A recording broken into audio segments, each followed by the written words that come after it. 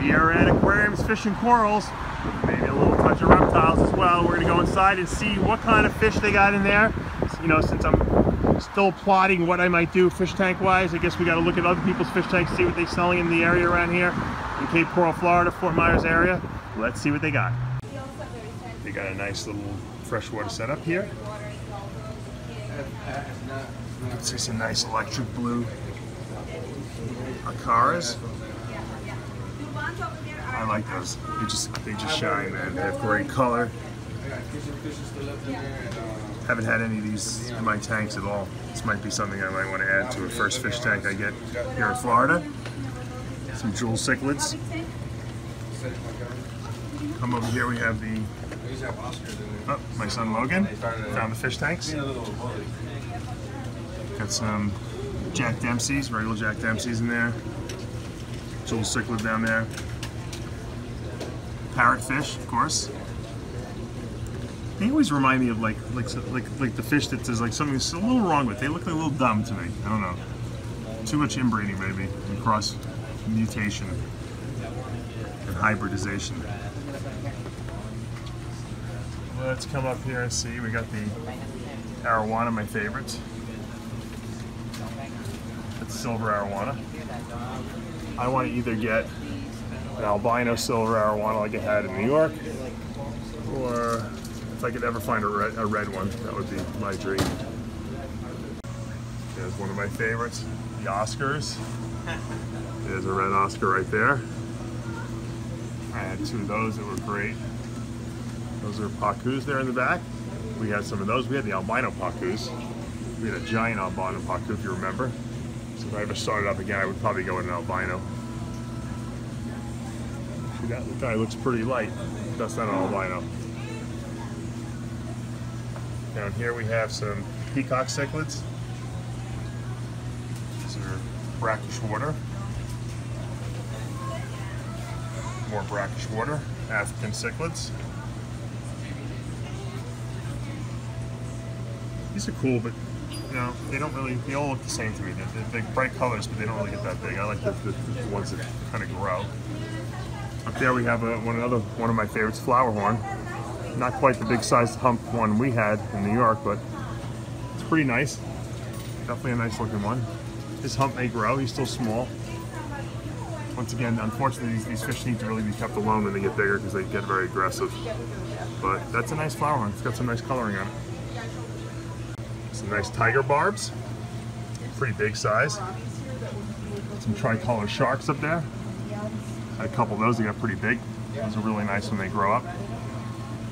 There's, I see some kribensis. Those are pretty easy to breed. You're looking to breed some egg layers. They, they tend to have babies pretty easily.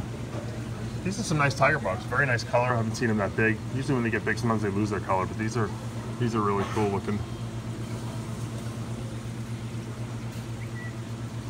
Here's a nice little planted tank down here. I really never did well with plants for some reason. I don't know. Maybe I never created the right environment or the right soil. You have to really get some good nutri nutrients in that uh, deep soil bed, deep foot gravel bed there. I never really got into that because it got very dirty. There's some more planted tanks, and there's a nice gourami, flame gourami over there. Very pretty. What do you think the gouramis look like, Amanda? Roaches. You think they look like roaches? They thought that they did, but they're, they're pretty. Here we have some really cool looking. There's a really nice electric blue Jack Dempsey. Well, he's missing his tail. I guess he's not so good. These things are really mellow when they're young and very timid, unlike other Jack Dempseys. When they get bigger, they get a little more aggressive. There's a nice German ram in the back. And those those are really, these are dwarf cichlids, these German rams. And they breed pretty easily. I like them, they got a lot of color. It's a really nice fish if you don't want to put something too aggressive and you like cichlids but you don't have enough room. I definitely recommend the rams.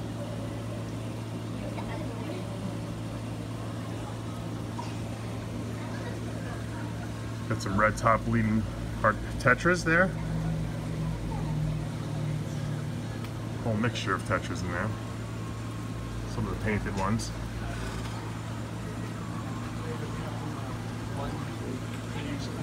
Over here.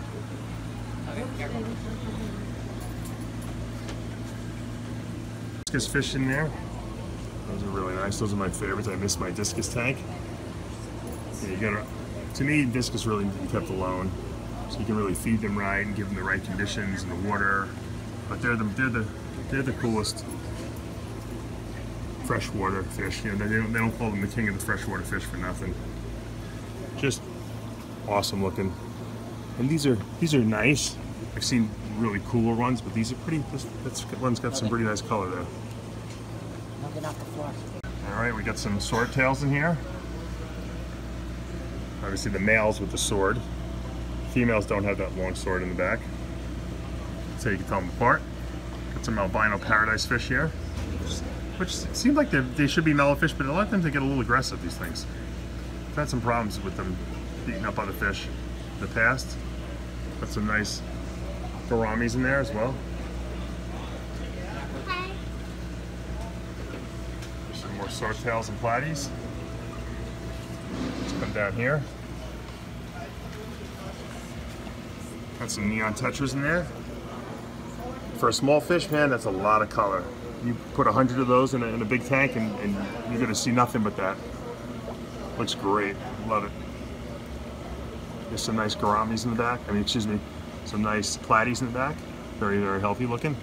And then we got some of the algae eaters. Clean all the algae off the glass. Got some nice angelfish here. These are kind of like adults. Can mix these with, with discus, but a lot of people say not to because the angels carry some diseases that are sometimes can be fatal to the discus, but not to the angels. Got some nice serpae tetras there. Some more nice angelfish here. A little mixture of bodies and stuff like that here. You look at those angelfish.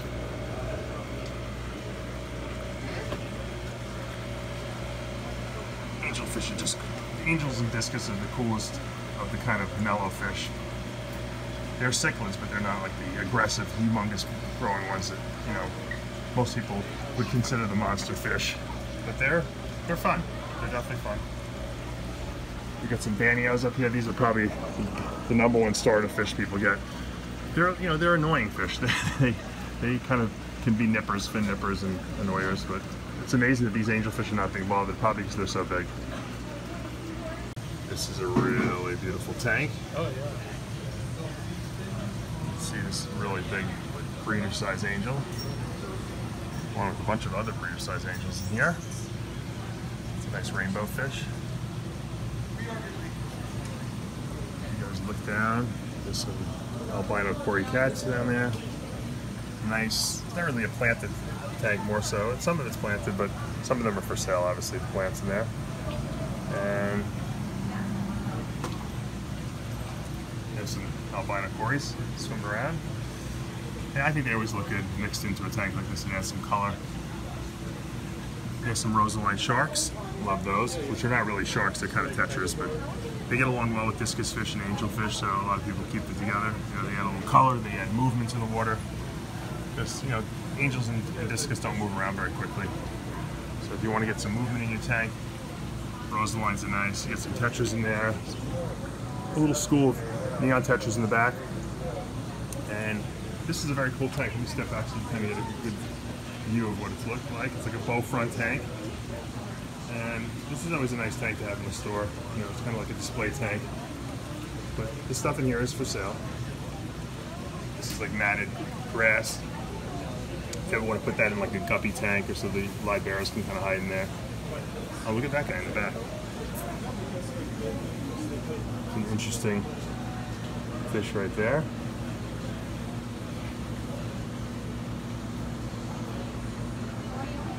To be honest with you, I don't even know what it is, although I just see a snail right there. Come around the front, get a better view of him.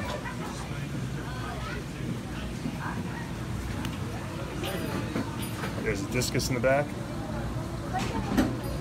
So if you look hard enough in this tank, you'll find a lot of stuff. You might not even know it's in here. Some more angelfish here.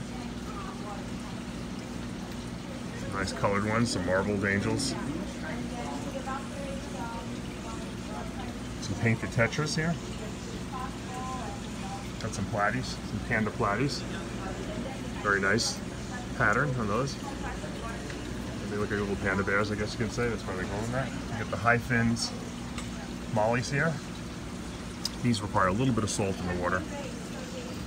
They seem to be healthier and they live better with a little bit of salt. They can, they're kind of can go both ways. You know, platies can actually live in saltwater tanks as well as freshwater. They have that ability to regulate, which is kind of cool.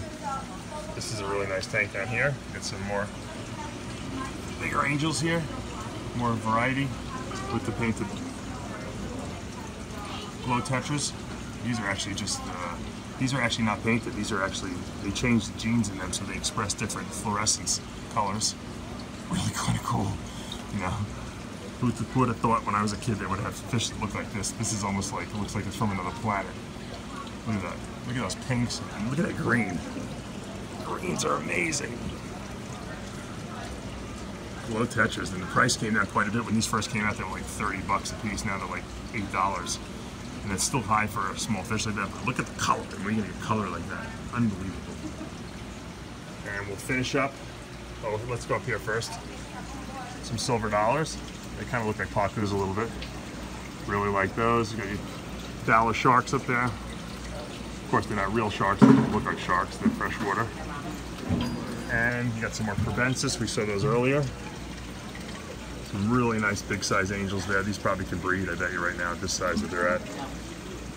And we'll come down to this final tank here, the freshwater section. That's all I'm interested in really at this point. We got some really cool like pond goldfish here. You got a couple of uh, Orandas in there, which are kind of cool. These seem to be very popular nowadays. I never really got into the goldfish too much. You never know. You could always get bit by the bug. Got some koi in here. Obviously, they can go into ponds. Some of these are already nice, pretty nice. You know, this this fish in the back is called a shubunkin, but it's really just a big fantail goldfish. I think pretty much that uh, they just kind of started breeding. I always liked them. I always liked the big white fish with the big fantail on the back. Looks beautiful. And goldfish, you know, are great. If you're into goldfish, man, you can really do a lot with them. The colors that they come out with nowadays are just amazing. They don't require heat. You know, here in Florida, you can pretty much, you know, never have to worry about the temperature of these things. You never need a heater on them. And you know, it just depends what you're looking for. You're looking to do a pond, you're looking to do a, you know freshwater tropical tank. You got to decide what you like, you know. But looking at all these fish today, I'm getting excited again. Possibly getting a, another fish tank or maybe a couple. Uh, we'll have to see. I have a feeling at this point I'm not going to go small. I'm going to go big. I see there's a lot of tanks available on like uh, Cape Coral uh, buy and trade on Facebook probably get a pretty good deal on one. Maybe set one up in my snake room and uh, get some monster fish going because I know you guys like to see them, you like to see me feed them and, and talk about them. So hopefully you enjoyed this video. I'm going to try to do a lot more of these now. I know you guys have missed my videos. I've been out of action for a year, but uh, we're back. Palumbo's Muscle Fish. Stay tuned if you like the channel, subscribe, tell your friends, and uh, leave comments in the uh, comment section below.